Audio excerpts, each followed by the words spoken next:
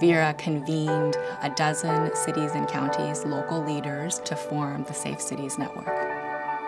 With more and more people getting caught up in the ever widening net of immigration enforcement, there's more and more of a need for local governments to really step up and make this incredibly brave and strong statement about protecting their own immigrant communities.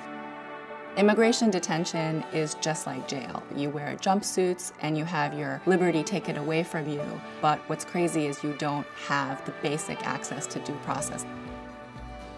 What we really want is every city and county in America to be setting up deportation defense programs for their immigrant communities.